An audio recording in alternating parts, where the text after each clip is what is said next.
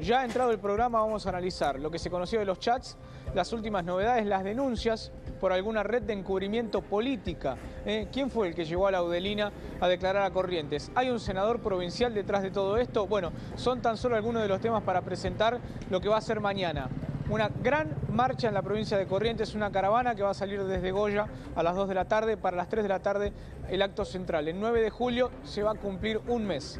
Mm. Esperemos que no, que en las últimas horas tengamos novedades, pero mañana se va a cumplir un mes de la desaparición de, de la desaparición. No, y pensaba con esto que vos decías de las complicidades políticas que la nueva representante legal de la Udelina, la doctora Mónica Chiribín, bueno, justamente dijo que va a pedir una ampliación de, declaración justamente para que la Udelina denuncie esto que ella califica como una extorsión con nombres también de la política, Jan.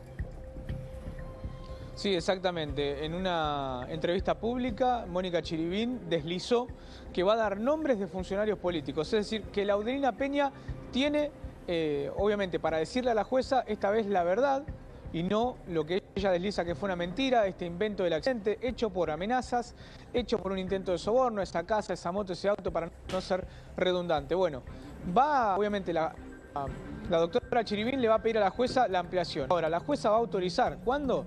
Y yo estimo, lo hablaba Marina Débora con, con nuestros demás compañeros en la programación, mediados o finales de la semana que viene.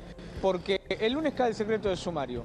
Todas partes, todos los abogados van a tener eh, el expediente, para decir qué tienen en contra de mi defendido. Entonces, para dar una estrategia, no creo que el lunes a las 8 de la mañana venga acá eh, la Laudelina a declarar. No, no, no. Para mí eh, se van a tomar un tiempo, todos los imputados van a evaluar estrategias y yo deslizaba, quizás jueves o viernes de la próxima semana tengamos ya las primeras dos personas liberadas. Me puedo estar equivocando, pero Ramírez y Millapi son los que menos complicados están en el tramo de esta investigación. Eh, si querés, Jan, eh, quédate por favor porque lo vamos a sumar a Pablo Corso. Saben ustedes que en la Fiscalía, aquí en la Ciudad de Buenos Aires, donde está parte de la familia de Loan, estuvo el papá. Pablo, contanos, por favor. ¿Cómo les va, Débora, Marina? Buenas tardes. Para complementar la información de Jan desde Corrientes, días 29 de la desaparición y sin novedades, sin rastros de Loan en la provincia de Corrientes. Y hoy una declaración, como bien decías, Débora, muy importante en la ciudad de Buenos Aires. La presencia de José, el papá de Loan, junto con Mariano, hermano mayor, frente a la Protex, los fiscales de esta Procuraduría de trata y explotación de personas en la calle Perú en San Telmo. Estuvieron aproximadamente 90 minutos frente a los fiscales para dar testimonio, versión y ahora sí, abonando la hipótesis una de la jueza federal Poser Penso en Corrientes, la trata de personas. La declaración muy importante de José, la visión de los hechos y como decían, la participación o no de su hermana, Laudelina, que podría romper el silencio en una nueva declaración indagatoria y todavía con la filtración de mensajes, llamadas, información clave del CICAT, de los 17 teléfonos que están siendo analizados. Hace instantes, Débora Marina, se retiró José en una camioneta roja rumbo a Corrientes. No hizo declaraciones a la prensa, prefirió resguardarse. Ya había tenido un día muy álgido ayer, jueves, con la participación en el obelisco de la marcha, internado luego por una descompensación en el Hospital Argerich y también su contacto personal, este vínculo en reunión de una hora con la ministra de Seguridad Patricia Bullrich. Ya se encuentra José junto con Mariano rumbo a la provincia de Corrientes, lamentablemente para estar mañana en el día 30, un mes sin Loan en la provincia de Corrientes. Bien, bueno, muchas gracias Pablo. Nos quedamos ahí por si hay alguna novedad desde la Fiscalía y vamos a presentar a nuestros invitados en el día de hoy. Está por un lado el doctor Sigal, que es abogado penalista, gracias por acompañarnos. Está Alicia Crosa, que bueno, es psicóloga, es experta en estas cuestiones también vinculadas a lo forense. Y también está la perito criminalística Olga Fernández Chávez. ¿Cómo estás, Olga? gracias por acompañarnos.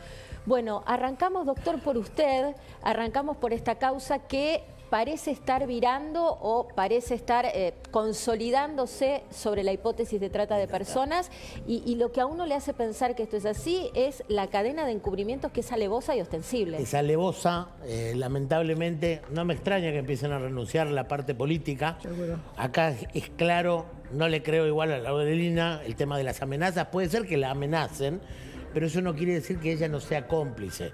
Me arriesgaría a decir que es cabeza junto con el señor comisario y el matrimonio Pérez. Mm. esas cuatro personas son eh, una asociación ilícita misma. Yo creo que tienen Los cuatro tienen una autoría, una coautoría funcional en esto. Esto va a quedar en evidencia más con el teléfono, con el, el- el hallazgo de las fotos de chicos en el teléfono. Y si vamos un poquito más a fondo, lamentablemente, a ver, hubo una mutación muy grande de lo que es el tráfico de droga. La misma gente, las mismas bandas que traficaban droga, Sí. vieron que era más rentable traficar personas. ¿Por qué?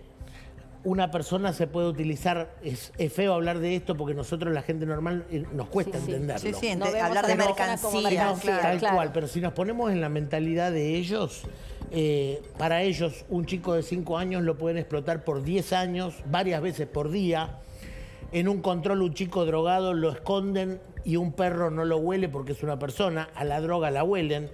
La droga se vende una sola vez y hay que traer más droga.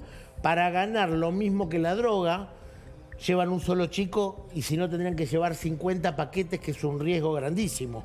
Entonces descubrieron que era más negocio la trata de personas y como vengo diciendo, tenemos cinco provincias eh, en la Argentina que son de trata.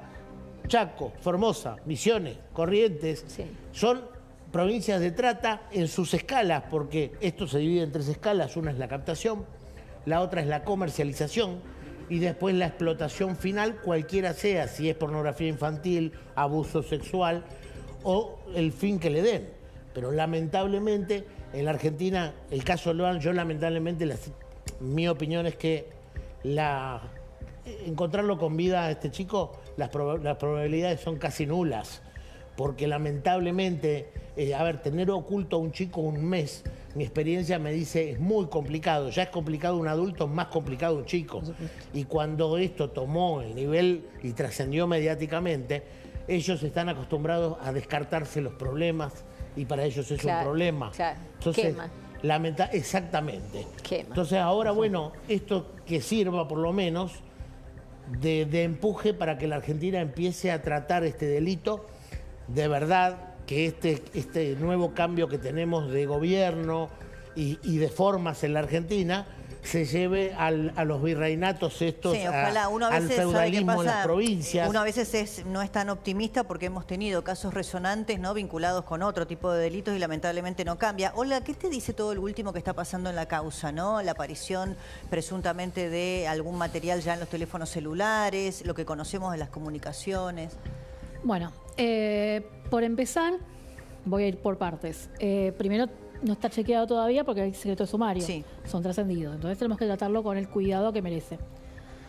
Mm, Tengo la limitación de que en los medios de comunicación hay cosas que no puedo comentar porque tampoco queremos incentivar a que sepan cómo evadir las detecciones que tenemos nosotros, pero generalmente los celulares al tener redes los tienen para compartir también muchas veces o lo comparten entre ellos este y esto se puede rastrear de alguna forma este yo principalmente y hemos estado en contacto con una empresa esa empresa está en contacto con Burlando a su vez hemos estado tratando de ofrecer el tema de la geolocalización fina ¿por qué?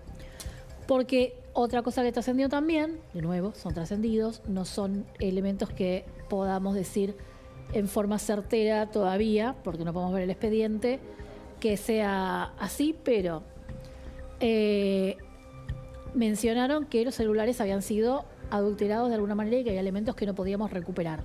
Entonces podría haber más todavía, más elementos que podrían vincular a estas personas. Y lo que nos importa también es, también mencionan que hay una transferencia millonaria.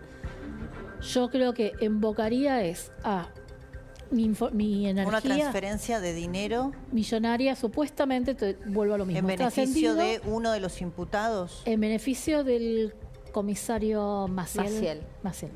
Eso fue eh, uno de los primeros trascendidos de la investigación, que había una transferencia que no cerraba en función de sus ingresos corrientes ni de sus proveedores, digamos, Es de, que de aquellas justamente personas que usualmente Ahí le les transferían explico dinero. dos áreas de pericias. Las pericias contables no son lo mío. Tengo un colega que trabaja conmigo en la parte de pericial contable, eh, Maxi, un santo. Este, pero eh, eh, lo que se hace es, se chequea los ingresos que vos tenés, eh, los motivos que tendrías para generar dinero, Exacto. versus tus gastos, ¿sí? Y lo corresponde, porque ¿qué hacen el lavado de dinero? Generalmente tratan de poner una empresa fantasma o algo así, Para pero después siempre algún error cometen, por ejemplo, no comprar suficientes insumos, generalmente dicen que cobran en efectivo, no hay suficiente facturación, porque aparte van en impuestos, o sea, en general los encontrás en esos detalles donde no hay coincidencia, ¿sí?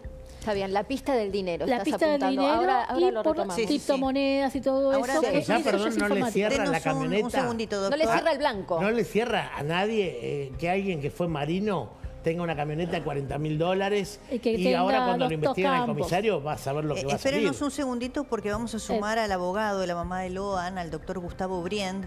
Doctor Briend, ¿nos escucha? Buenas tardes. Gracias por atendernos. ¿Qué tal? Buenas tardes. ¿Cómo Bueno, están ustedes? Muy bien, muy bien. Cuéntenos ustedes que, mm, bueno, de todo lo que trasciende, ¿no? De una causa que todavía tiene secreto de sumario hasta el próximo lunes, pero que ya nos empieza a aportar mucha información. eh, ¿Qué es lo que usted cree que ha pasado?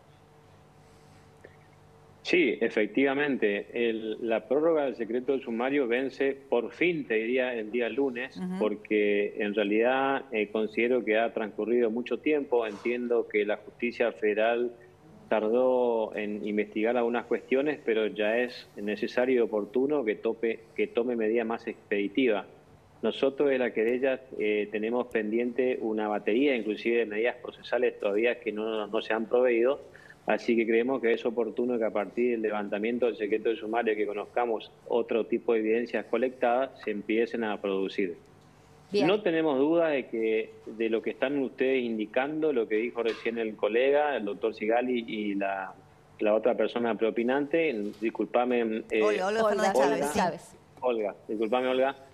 Eh, estamos hablando específicamente del delito de trata, no tenemos dudas respecto de lo que ha sucedido en la zona cero, es decir, en Naranjal, así que eh, insistimos nosotros con esa posibilidad. Y también hago una especie de mensaje público, tanto a la Fiscalía como al juzgado, es que no alcanzamos a comprender, esto lo hablé con Burlando, inclusive en el día de hoy, es- es- esta esta especie de negativa a seguir investigando exclusivamente la trata y continuar con otra eh, hipótesis de trabajo. Así que nosotros creemos de que tenemos que ir por ese camino, aportamos los elementos, incorporamos evidencia, así que seguimos sosteniendo que es la hipótesis principal de trabajo.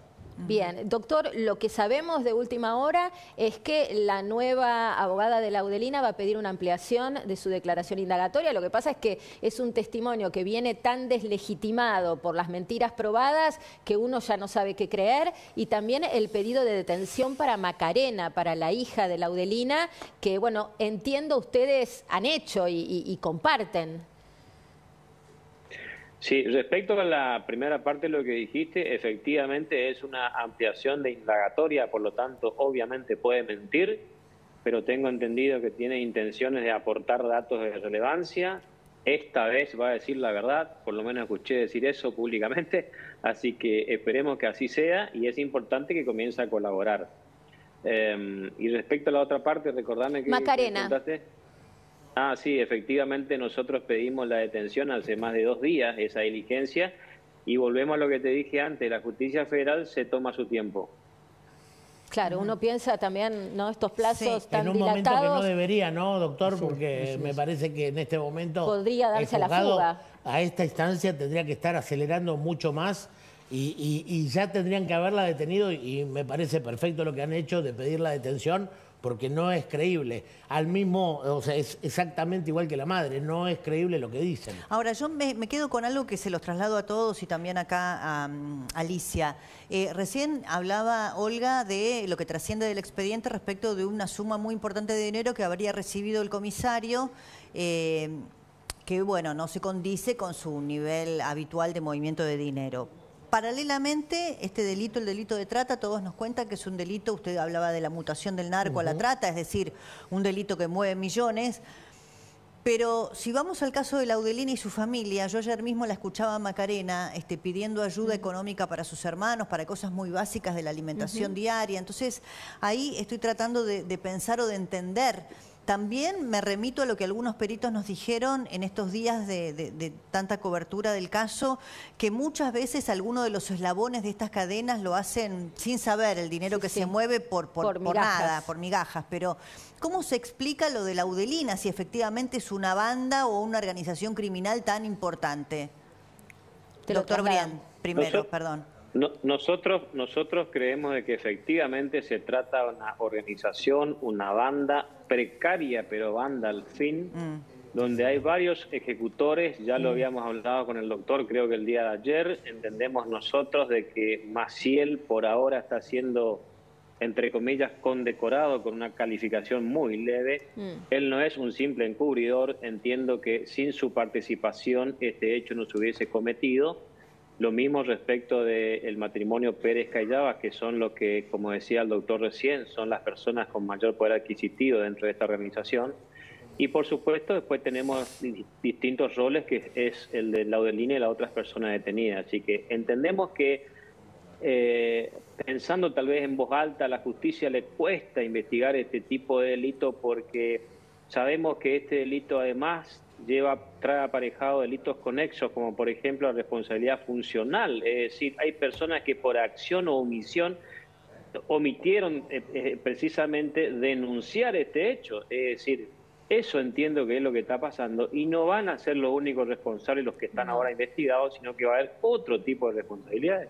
Claro. Ahora, Alicia, te, trasladamos esto que planteaba Débora, ¿no? Porque quizá lo que más nos llama la atención, uno no se puede poner en la cabeza de ningún delincuente y menos de este tipo de delincuentes vinculados a la trata. Mira. Laudelina es la tía, es la tía, ensució a la madre del niño, desperdigando rumores falsos por todo el pueblo, mintió ante la justicia. Desvió la investigación. Desvió la investigación. Yo creo que interés la mueve, claro. yo creo que el lunes con la apertura eh, esto va a funcionar como quien sopla en un plato de harina, así, de esta manera.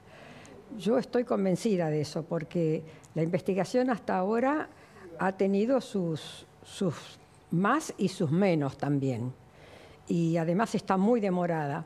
Pero acá hay una cuestión que yo anoche en un programa que también estuve aquí lo apunté y quisiera desarrollarlo nuevamente que es un concepto nuevo que está dentro de la criminología, usted doctor apoyará tal vez esto, que es la siniestralidad, o sea, lo siniestro. El siniestro y lo ominoso son dos conceptos que se manejan mucho dentro de la psicología clínica y que se ha eh, utilizado, trasladado también para la calificación de algunos hechos delictuales muy severos, como en este caso. O sea, acá estamos ante un hecho absolutamente siniestro, desarrollado sobre personajes que no tienen la capacidad y la habilidad mental para afrontar la siniestralidad de una estrategia delictiva armada por otros.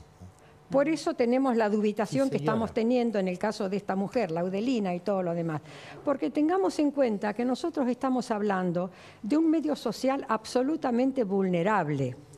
Desde ya, eso in situ, naturalmente es así. A donde todo el mundo está acostumbrado o se tiene que acostumbrar al menos y nunca al más. Además, las mujeres desde muy jóvenes son abusadas, son inducidas sexualmente, procrean sin saber de pronto quién es el responsable. Además, también hay, hay violación del incesto, porque la mayoría de las mujeres se inician sexualmente en contra de su voluntad por el acceso carnal de familiares. O sea, todo este tipo de cosas que el psicoanálisis clínico tiene en cuenta entran perfectamente dentro de las carátulas de esta cuestión. Yo creo que el lunes esto va a explotar. ¿no? Como dije, ¿no? un, soplido en, un soplido en un plato, de, harina. Olga, ¿coincidís un poco con esta descripción? Sí, lo mío, o sea, yo justamente mencionaba que yo he hecho la, maestría en psicología forense, pero en este caso obviamente la experta es ella. Eh, mira, yo lo que sí creo, sí creo que los niveles más bajos, y esto creo que coincide conmigo también, debido a las deficiencias alimentarias y todo eso, yo lo que noto en muchos de los, de los padres, las hermanas, es que no tienen un nivel cognitivo demasiado elevado, que es producto de una nutrición y una crianza deficiente, ¿sí? Y eso también tiene que ver con la agresividad, la impulsividad, los valores morales, lo cognitivo, lo, comportamental. Sí, Por eso la elección de esta víctima, una criatura de cinco años que está en una, eh, cursando una etapa del desarrollo intelectual, objetivo simbólico, o sea, donde las cosas son vistas tal cual como las ve. Claro. En consecuencia, una persona del ámbito, del medio, lo seduce, lo atrae con un caramelo, un regalo, Sí, sí, sí. un obsequio, y, la criatura va. Claro. Es que ¿Por qué? Porque no tiene capacidad de Ahí hacer la transversalidad del Por eso pensamiento. el tema que a, a- a qué, a qué apunta el pedófilo generalmente, al grupo cercano, los vecinos, los- las personas familiares, La etcétera, etcétera. marginalidad, porque usan la marginalidad Pero porque aparte, como elemento por para eso poder yo captar. siempre digo que hay que tener cuidado con los chicos de explicarle de ir, por ejemplo, cuáles son los mayormente agresores hombres entre 30 y 50 años, entonces que a las madres enseñarles que tienen que ir con mujeres de preferencia, mujeres que vean con chicos y se pierden, que los chicos no tengan el nombre en las carteras, o sea, yo apunto del lado viste la seguridad porque lo mío es criminología. Este, bueno, y del punto de vista de esta banda, yo sí creo que hay niveles más bajos, que son los de los que captan los menores. Debe haber un, un nivel intermedio, porque yo no creo, hay un tema, hay, que hay una confusión muy grande que también quiero marcar ahí, en esto va- creo va a coincidir conmigo la doctora. La gente tiene esa idea de que el psicópata o el antisocial es Aníbal Lecter, un tipo de alto coeficiente intelectual, y no suele ser así, por suerte.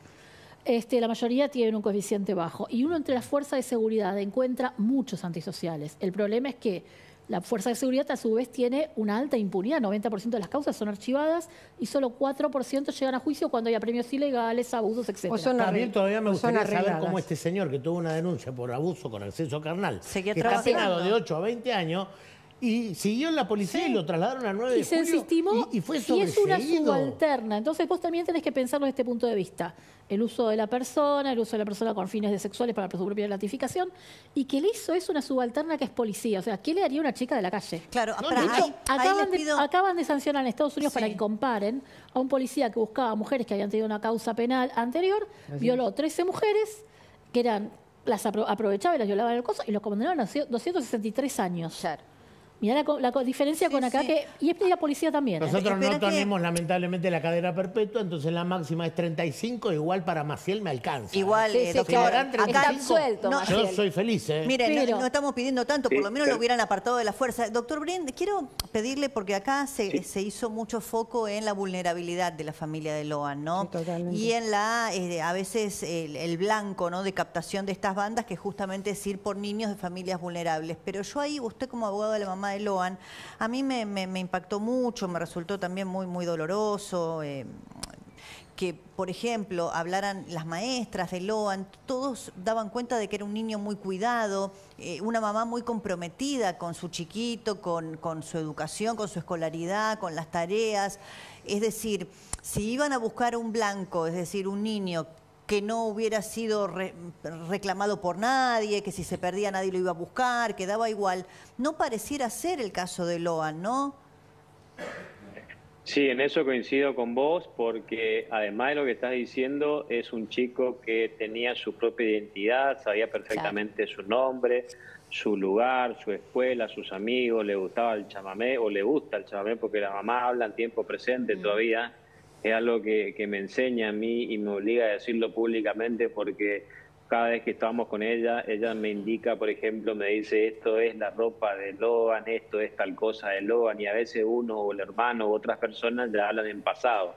Es decir, la madre siempre habla en tiempo presente y es, es el deseo de madre y bueno, es que nos contagia a todos. Claro, Efectivamente, es cierto lo que vos decís, un chico con identidad propia que sabía perfectamente su lugar, era, estaba integrado inclusive culturalmente al propio vecindario, así que es muy llamativo. Muy llamativo. a- Ahora vamos a, a profundizar en eso, si usted también piensa que, que fue la mala suerte de estar en el lugar equivocado, por decirlo de alguna manera, pero hay información urgente. Esto pasa ahora y está pasando en Corrientes. Jean Libares.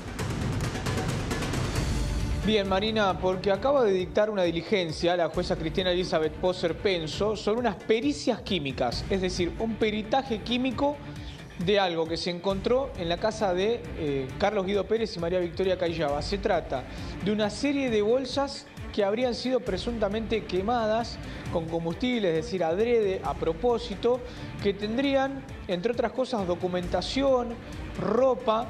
Bueno, esto lo acabamos de conocer, es un exhorto judicial que acaba de deslizar la propia jueza Cristina Elizabeth Poser Penso. Vamos a ver hasta dónde llega y de qué tipo de material estamos hablando. Pero esto acaba de surgir ahora de último minuto.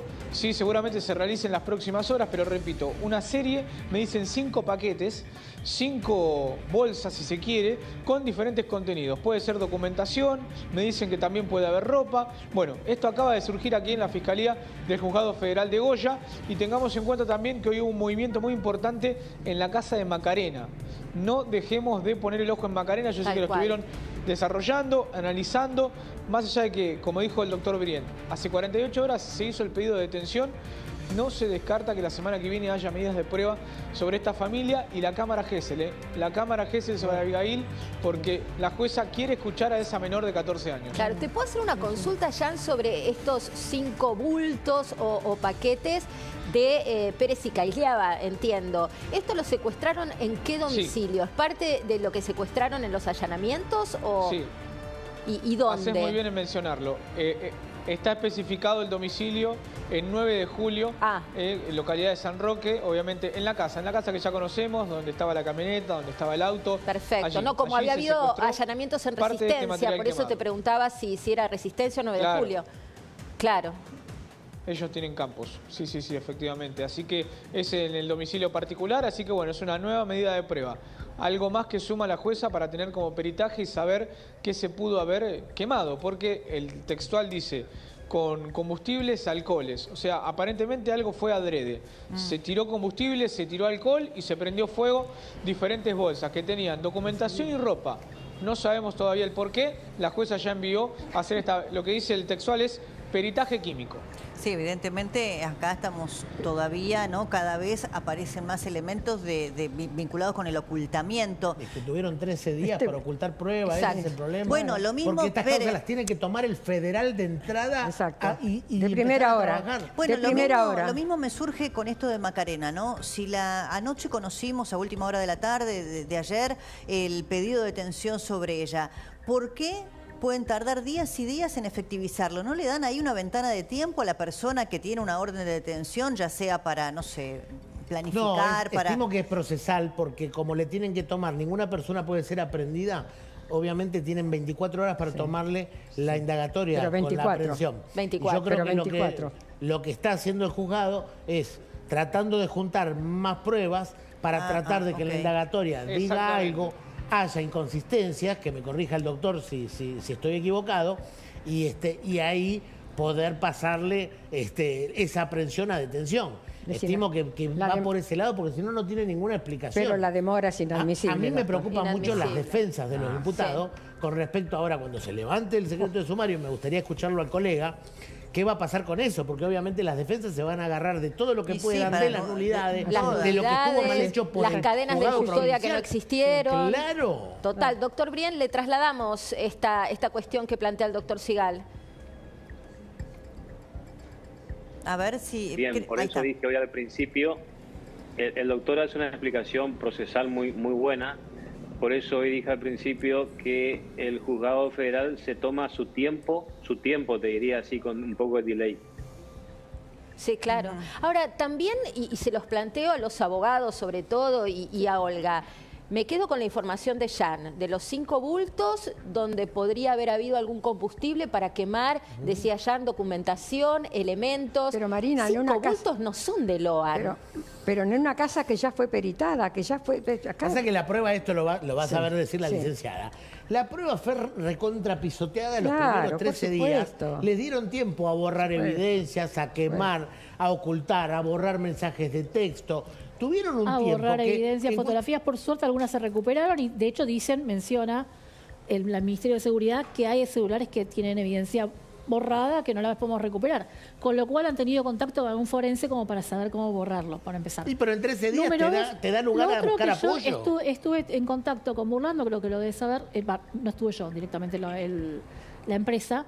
Estuvimos trabajando en geolocalización fina, en mejorar la, la efectividad para poder hacer un secuestro. Y anoche justamente mandé el texto para que de cómo pedir la información y cómo pedir el resguardo, porque si no se va a borrar. Claro. Y no nos están dando- no sabemos si nos están dando bola o no, porque no podemos ver el la cadena de custodia, a eso vas. Eh, yo, vamos a las, las información de, eh, las cade- eh, de las antenas de teléfono. Ah. pero no por geolocalización gruesa que te pueden decir, por, por las defensoras que van a decir, saltó a la otra antena, puede haber un error. Lo que buscamos es ubicar al celular con ángulo, eh, tiempo de arribo, intensidad de la señal y eso me permite ubicarlos con 50 metros. Y yo puedo analizar 30 días antes y 60 días después si me dan la información. Pero a mí esto me después se va preocuparía borrando. Que si no van a investigar el delito de trata, estamos mal, porque acá hay que hacer entrecruce con los teléfonos de hace tres meses atrás. Y lo que tenés Y que hacer es aquí, ¿con quiénes entrecruzar. hablaron? Y acá tienen que empezar las escuchas telefónicas directas e indirectas, las que correspondan, pero hacer una investigación seria, porque si no, no vamos a llegar, no puede ser que la, la- la cadena se corte con el comisario y los que están detenidos, porque yo, a mí en lo personal, me gustaría saber 10 10 10 pasos más arriba. ¿Quiénes son Es arriba de la escalera? Lo más ¿Se organizado entiende? generalmente Además- tienen. además pero la- podemos hacer la, la net de analizar, bueno, este se comunicó con este, este se comunicó con este, este se comunicó con esto, y hacerlo gráfico y explicarlo. Pero yo necesito Claro. que me den la información. A ver, ¿Qué a está ver, pasando, Jan? Sí, porque llega la cúpula de la Policía Federal aquí al juzgado federal de Goya, sí, seguramente para reunirse con la jueza, acaban de ingresar. Gaby va a tratar de darles la imagen de adentro. Esto pasa en vivo. Disculpas por la desprolijidad. Son los jefes de la investigación de la Policía Federal que acaban de ingresar en este momento en vivo para reunirse con la jueza federal Cristina Elizabeth Poser Penso en el final de una semana muy importante, en la víspera y en la previa de la caída del secreto de sumario en la investigación, Marina Débora. En instantes seguramente vamos a ver si podemos obtener la palabra de alguno de ellos. Pero esta es la información. La cúpula de la investigación en este momento se va a reunir con la jueza. Perfecto. Bueno, gracias, Jan. Y, y también entiendo que tendrá que ver con el cambio en el Ministerio de Seguridad de Corrientes, ¿no? La salida de. Buenaventura Duarte. Con la, sali- y- con la salida de este ministro seguramente Sí. algunas. Claro. Seguramente alguna cosa se va a, a movilizar. acomodar. Eh, doctor sí. Brien, gracias, Sí. eh, ha sido muy amable. Gracias a ustedes. Bueno. Porque gracias es- también porque al es muy al comprometida la situación No, del sí, gobierno. si quiere- cerrar, gobierno. doctora. Sí, Sí, sí, doctora. exactamente. Quiero decir eso, de que muy posiblemente ahora vaya a haber alguna movilización antes de la apertura del secreto del sumario que se producirá el lunes con la movida y con la salida. Y la salida de este ministro debe tener que ver justamente con eso. Gracias. Seguramente Alicia. hay una conexión ahí. Alicia Crosa, este, por estar aquí, psicóloga forense. Gracias, Olga, también, ¿eh? Un gusto. Muy amable. Muchísimas gracias. Muy Gracias amable. Bueno, vamos a, a un tema más distendido, si se quiere. Está